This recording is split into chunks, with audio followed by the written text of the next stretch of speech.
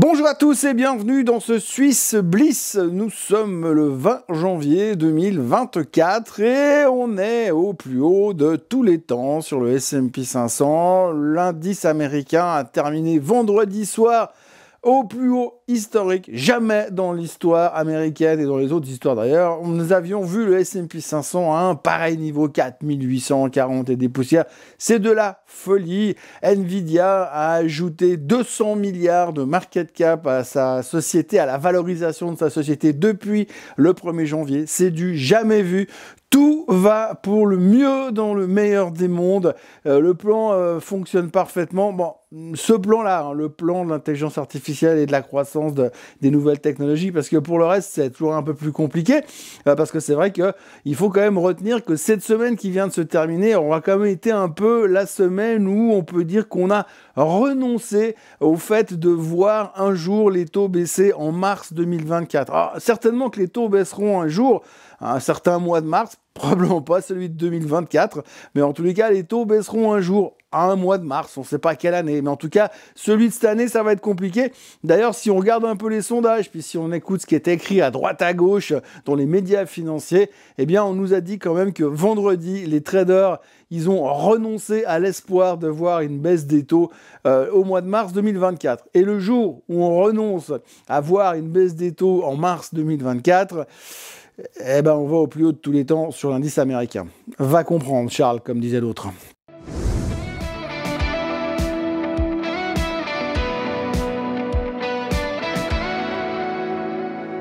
Donc oui, vous l'aurez compris, euh, tout va pour le mieux dans le meilleur des mondes, mais surtout on a, on continue dans cet esprit de voir le verre à moitié plein. Je vous l'ai dit tout au long de la semaine sur les Morning Bull Live, c'est pas une énorme surprise, mais c'est vrai qu'on continue à se conforter dans cette situation de se dire oui, mais de toute façon ça ira mieux demain. Oui, mais de toute façon l'inflation va bien finir par ralentir. Oui, mais de toute façon l'emploi finira bien par ralentir. On a eu d'ailleurs quelques preuves théoriques ce week-end, cette semaine, pardon, avec le Benchbook. Donc on se dit que oui, ça ira mieux un jour. Peut-être pas ce qu'on avait espéré, peut-être pas aussi vite que ce qu'on avait espéré euh, durant toute la période novembre-décembre, puisque j'ose encore le rappeler une fois, c'est un peu pour ça qu'on est monté, parce qu'on allait rapidement baisser les taux. Et là, on est en train de dire non, plus ou moins. Oui, on les baissera, mais plutôt sur le, allez, le Q3, on va les baisser, mais là, pour pour l'instant, c'est trop tôt. Faut pas trop compter là-dessus. Mais euh, bah, nous, on s'en fout. Nous, on s'en fout. On se raccroche à autre chose. On continue à voir le verre à moitié plein. Euh, il y a toujours beaucoup d'optimisme. Euh, les mauvaises nouvelles ne font pas baisser les marchés. Donc, il faut juste pour l'instant ne pas, comme on dit en jargon de trader, ne pas pisser contre le vent, bien sûr, parce que sinon, on aura les chaussures mouillées. Et donc, du coup, eh bien, forcément, les marchés sont en pleine forme malgré, malgré finalement une semaine qui restera marquée par des chiffres qui sont beaufs, pas exceptionnels, euh, surtout parce qu'on voit que l'emploi eh bien, il ralentit pas vraiment, que l'inflation ne ralentit pas vraiment, et puis on voit aussi et toujours que les banquiers centraux sont toujours plutôt au quiche que de viche et que même ceux qui avaient laissé espérer qu'on aurait rapidement une baisse des taux, ils sont en train de revenir un petit peu en arrière parce que oui, l'objectif target de 2% sur l'inflation, il semble loin, très très loin et très très difficile d'accès. Autant la baisse de 9% à 4%, ça a été facile, Autant là, on a l'impression que de last mile, le dernier kilomètre, hein, c'est comme sur un marathon, eh ben, euh, c'est beaucoup plus difficile à obtenir. Par contre, alors, du côté euh, technologie et intelligence artificielle, on a eu, alors, bien évidemment, en tout début, euh, enfin, en milieu de semaine plutôt, on a eu les chiffres de TSMC, un Taiwan Semiconductor, qui sont venus nous dire que ça allait bien que les chiffres étaient bons et que les perspectives surtout étaient superbes. Et c'est surtout ça qui nous a intéressé à mort, puisque du coup, eh bien, euh, tout euh, le secteur des semi-conducteurs s'est littéralement envolé. On le verra tout à l'heure sur les performances et sur le graphique, mais le SOX a terminé en hausse de 7% sur la semaine, donc c'est du délire total. Euh, on nous dit intelligence artificielle, croissance, bam, et puis on s'en fout, tout, le monde part en courant derrière. Et toutes les bases fondamentales euh, de l'analyse euh, fondamentale de l'économie, en se disant oui, on a besoin de ci pour que ça fonctionne comme ça. Pour l'instant, il faut juste prendre une serviette avec un petit cheat pour nettoyer. On oublie, on oublie les lieux communs, on oublie ce qu'on nous a appris dans les écoles de finance ou dans les universités ou dans les bouquins économiques parce que ça marche plus du tout comme ça.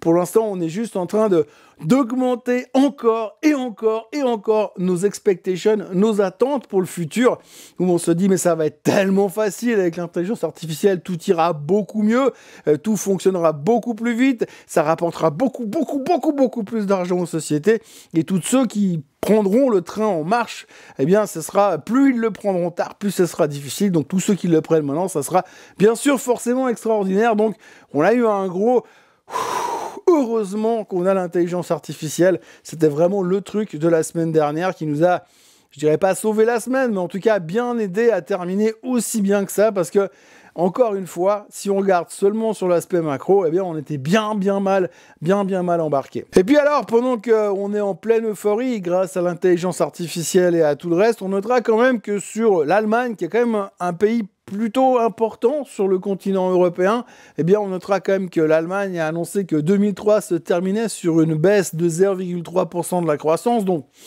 ça se rapproche plus ou moins de la définition d'une récession hein, sur toute l'année 2023. Euh, que l'un dans l'autre, eh bien, ils, ils, annoncent aussi au passage que l'inflation, elle repart à la hausse, 3,7%, un peu comme partout dans le reste du monde. On rajoute à ça le pétrole qui monte gentiment, gentiment en direction des 75 dollars petit à petit. Il est dans un triangle ascendant euh, qui est en train de nous dire que peut-être on va casser à la hausse. Puis quand on va casser à la hausse, on va dire Ouh, mais le pétrole à 80, ça arrange personne. Mais pour l'instant, on s'inquiète pas de ce genre de choses. Et puis euh, l'inflation est toujours euh, un, quelque, chose, quelque chose qui est à la mode, puisqu'on parle toujours beaucoup de l'augmentation des coûts, des biens, des matières premières, à cause de toutes ces tensions qui se génèrent dans la région de la mer, la mer Rouge et du canal de Suez. Ça, c'est des choses qui sont pas bonnes pour l'économie, pas bonnes pour la géopolitique, pas bonnes pour la stabilité du monde en général. Et on s'en fout complètement parce que heureusement, alors à l'époque on disait heureusement il y a Findus, ben aujourd'hui c'est heureusement il y a l'intelligence artificielle. Voilà, en tout cas, ce qu'il faut quand même reconnaître et pour faire le bilan de cette semaine, pour tout résumer en une phrase, on a quand même atteint des plus hauts historiques sur le S&P 500 le jour où le consensus nous dit que les traders ont renoncé à voir une baisse des taux en mars.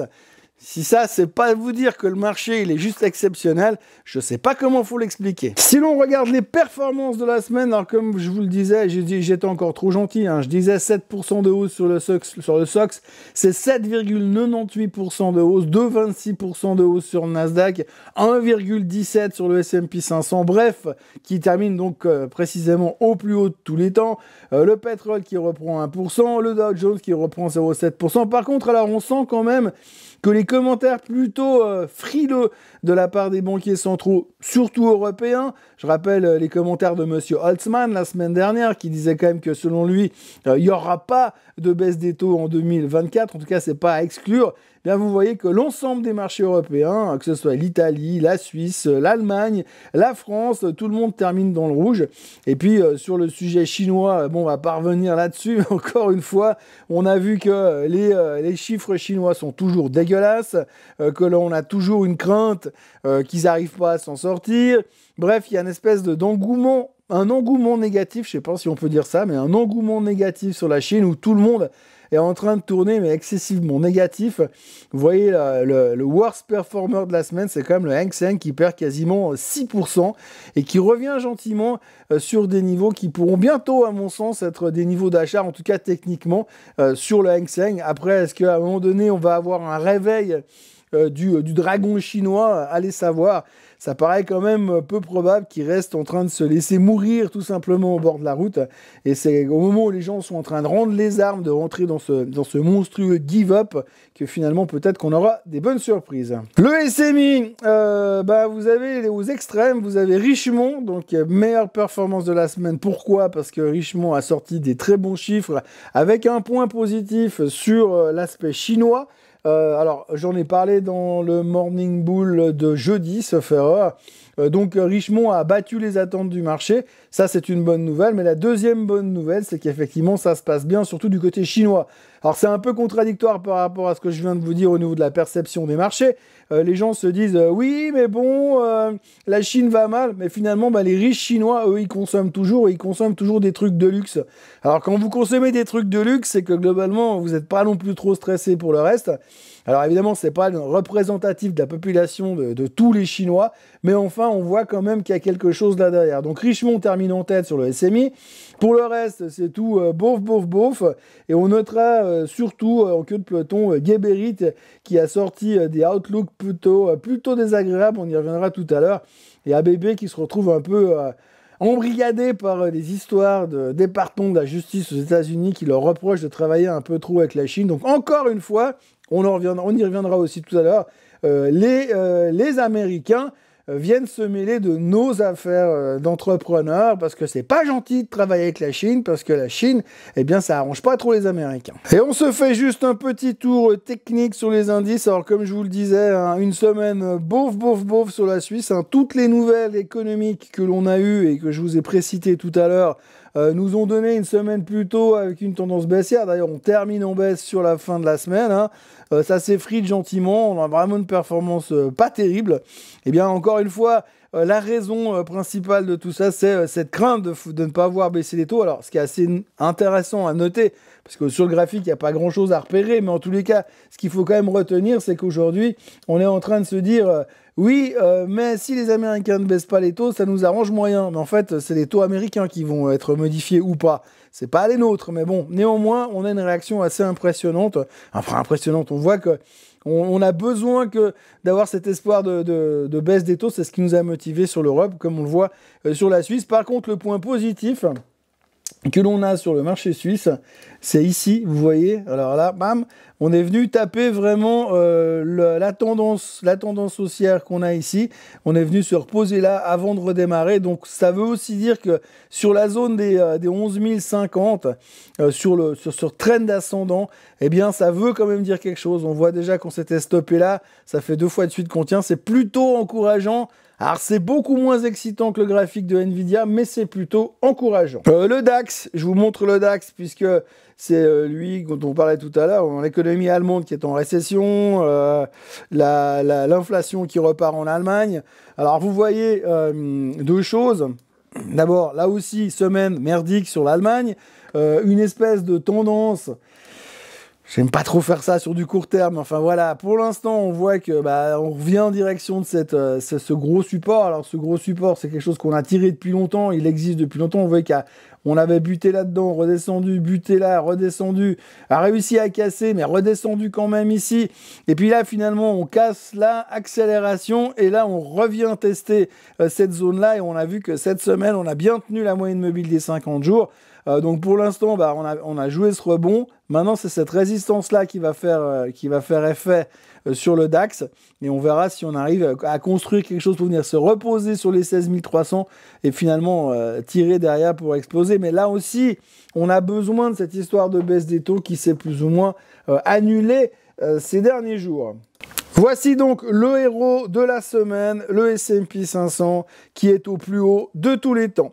Alors, euh, si on prend la grande photo, eh bien, vous voyez, la dernière fois qu'on est allé aussi haut, nous étions en janvier 2022, ça fait donc deux ans.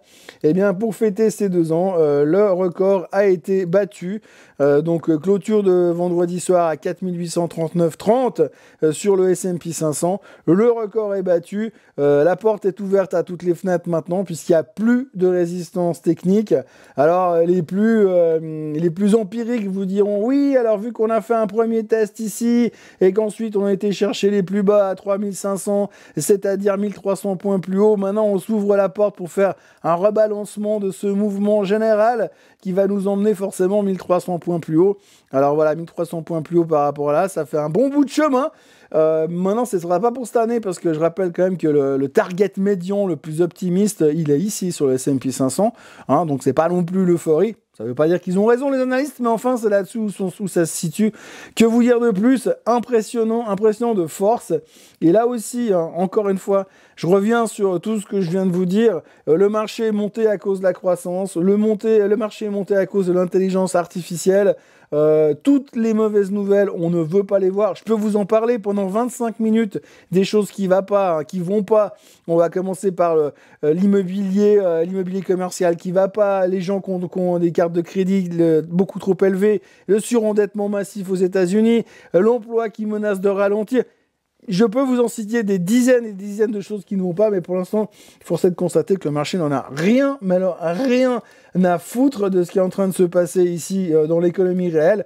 On n'est plus en train de parler d'économie réelle, on est en train de parler simplement de bull market. Et là, on a fait un nouveau step sur le euh, bull market, puisque dorénavant, le S&P 500 est donc au plus haut de tous les temps. Le Nasdaq, bah pareil, hein, le Nasdaq, euh, salut, adieu. Euh, la résistance qu'on avait, qui datait d'ici, bah pareil, elle a juste cédé, c'est parti, et là on a fait une accélération massive. Alors notez quand même, notez quand même que depuis le début de l'année, c'est juste quelque chose d'hallucinant ce qu'on est en train de faire puisque si on prend les points bas depuis le début de l'année, sur le Nasdaq, on est déjà à 7%, et on est le 20 janvier, donc euh, on n'a pas fini de rigoler. Et puis alors, on termine par le SOX. Alors de mémoire, je vous ai dit la semaine dernière, oui, euh, le SOX, ce sera assez intéressant à observer parce qu'on est dans une phase un petit peu où on hésite, on est revenu se poser sur la moyenne mobile euh, des 50 jours et que potentiellement, ben, il faudra voir si on arrive à tenir cette moyenne mobile et qu'on reparte pas là en bas ou alors si on a une accélération. Bon, l'accélération était faite, on a été cassé des plus hauts historiques, on est au plus haut historique.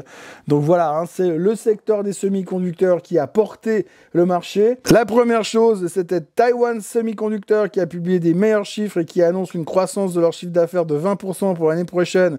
Le titre a explosé. Puis il a entraîné avec lui tout le reste. Alors là, vous avez par exemple AMD. Alors AMD, c'est le numéro 2 derrière Nvidia, puisqu'on que c'est les prochains à cartonner au niveau de l'intelligence artificielle.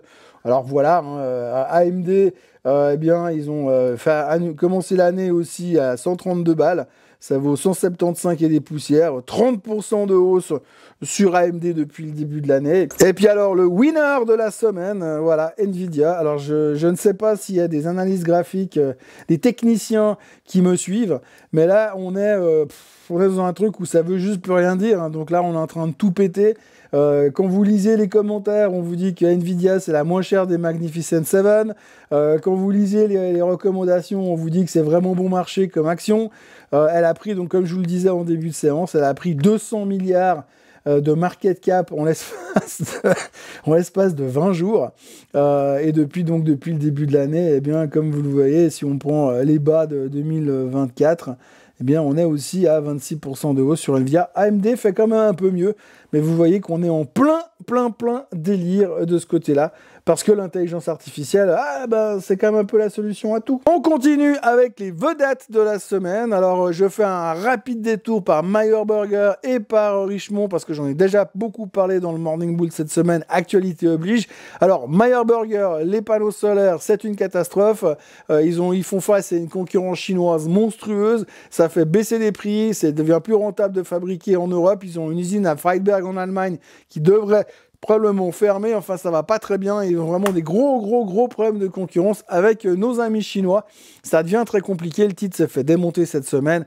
Euh, difficile de voir où c'est que ça va continuer comme ça, mais c'est très, très inquiétant euh, pour Meyer Burger parce que là, on voit pas comment ils vont réussir à, redresser et renverser la vapeur ces prochains temps. Donc, à surveiller.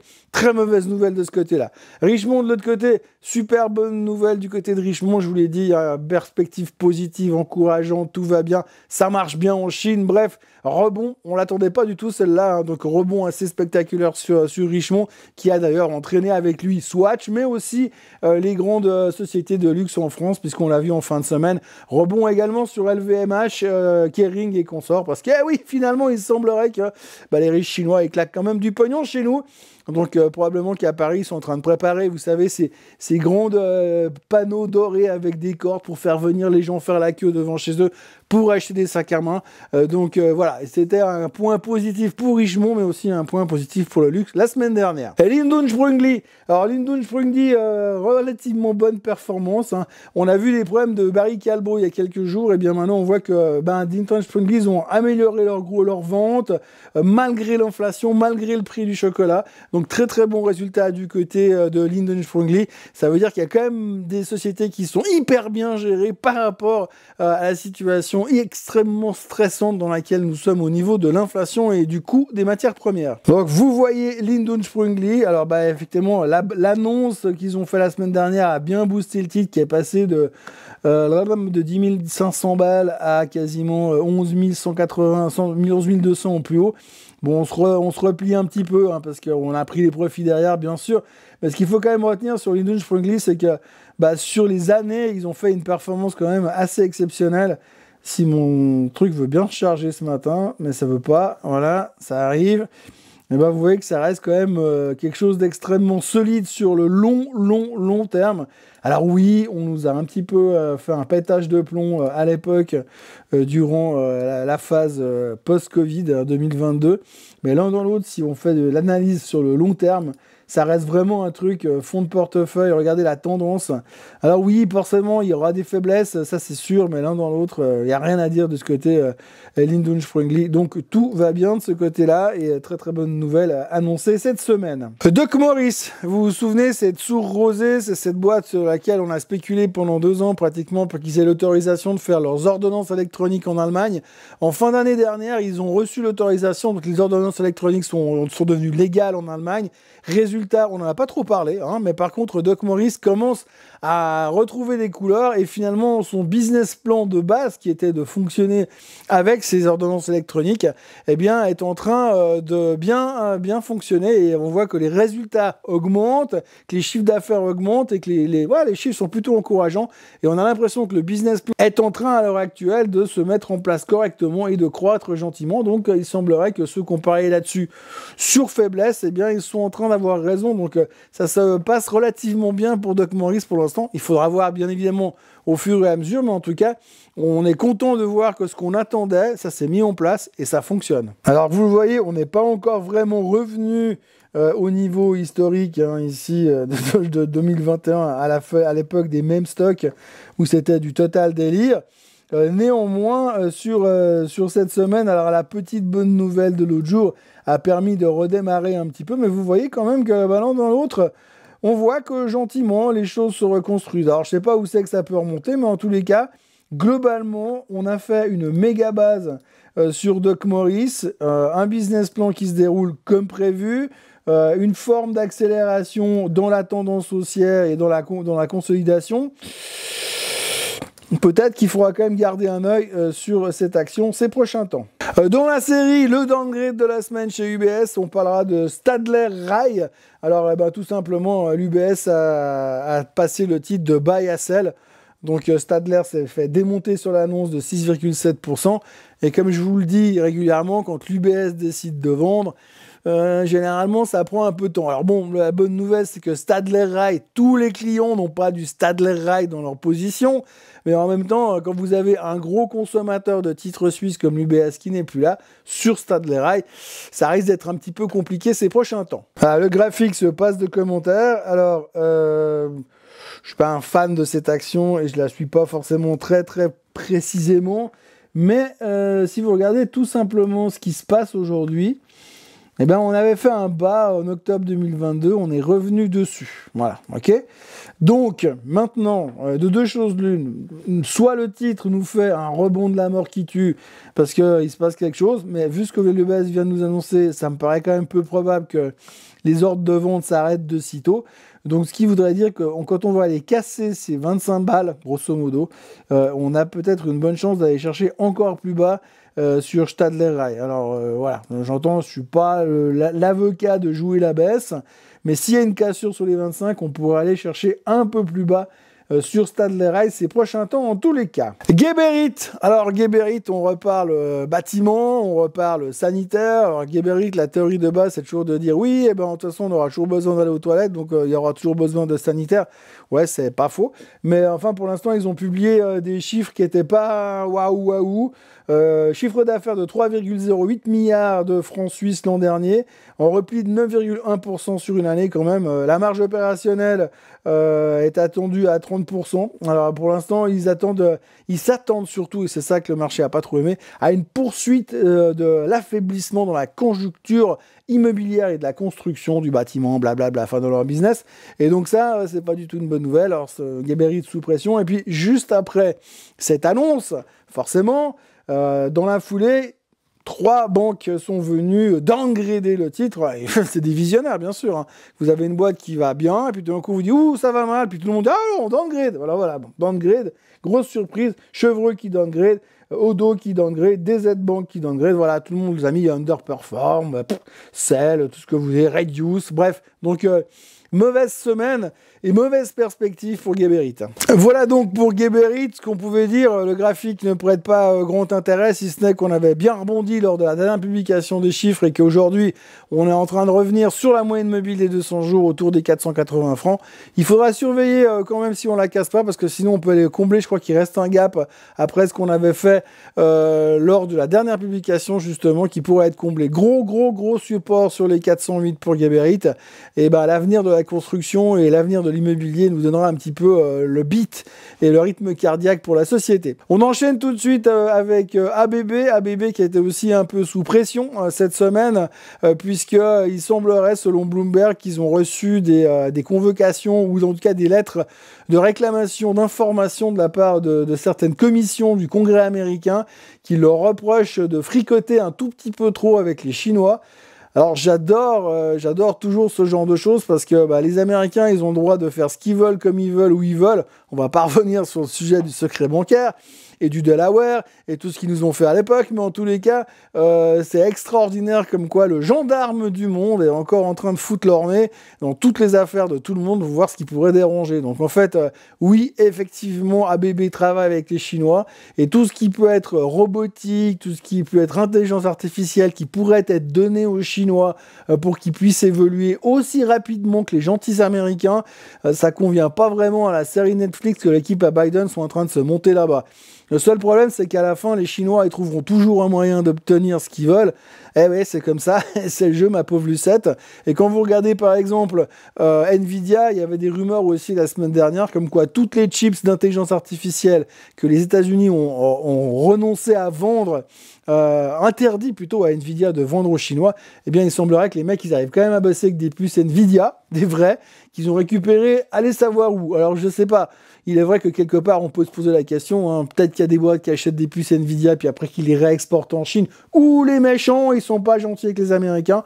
Enfin bref, quoi qu'il en soit, on va pas faire un débat sur le sujet, mais disons que les Américains euh, sont en train d'essayer de mettre les pieds dans le plat pour empêcher ABB de faire du business, parce que euh, sinon, euh, ils travaillent pas avec les gentils Américains, et puis c'est pas gentil, et puis ça va pas bien dans leur scénario hollywoodien. Donc du coup, ben voilà, bam sur ABB, donc ABB avait été chercher les 38, et aujourd'hui, avec la nouvelle de l'autre jour, eh bien on revient sur les 35 balles, sur le point de la moyenne mobile des 50 jours.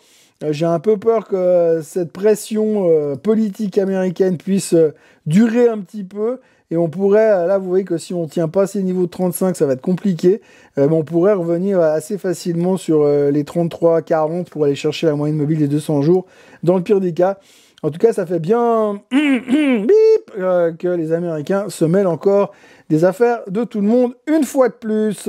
Tout à l'heure, je vous parlais de l'effet magique des downgrades d'UBS. Ici, vous avez le graphique d'une société qui s'appelle Implenia, que vous avez forcément tous vu et entendu quelque part dans la rue euh, faire des travaux. UBS euh, a upgradé Implenia la semaine dernière. Le titre a pris 13% sur la nouvelle. Même principe. Hein. Si tout d'un coup UBS recommande un titre euh, sur le long terme pour ses investisseurs, pour ses clients, eh bien quand tout le monde commencera à en acheter, qu'ils ont déjà visiblement anticipé un petit peu, euh, ça pourrait donner un coup de fouet à l'action. Donc vous voyez aujourd'hui que le potentiel de, de Implenia est plus que correct. Alors UBS a un target à 41, pas non plus à 150, mais à la vitesse où ils arrivent à la faire remonter, euh, je suis pas, pas exclu que le target soit atteint dans quelques semaines. En tous les cas, vous le voyez, comme je l'avais expliqué sur la version downgrade, eh bien ça marche aussi sur la version upgrade.